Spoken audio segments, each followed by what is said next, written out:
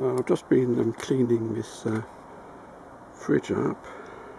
Um, it's the second time I've um, uh, done a recording on it. It still needs some more cleaning uh, at the front.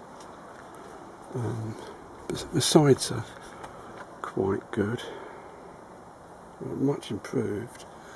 Uh, the top is still pretty awful. Um, I'm not sure what can done about that now. I've um, tried one or two ideas. Uh, opened the door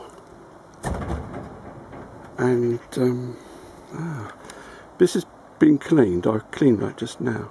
I've also give all the plastic and the metal a clean and it's almost uh, almost cleared but you can still see some but what what is bad is uh, the uh, rubber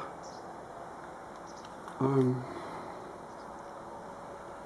going along the top. Now this has been cleaned with a micropore cloth and that's removed a lot of it but um, not all of it.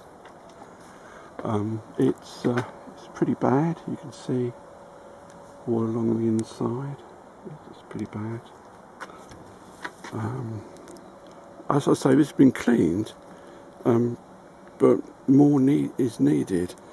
So what I'm planning to do is uh, use um, bleach on it and see what, what that does because um, I've had good success with removing mould using bleach.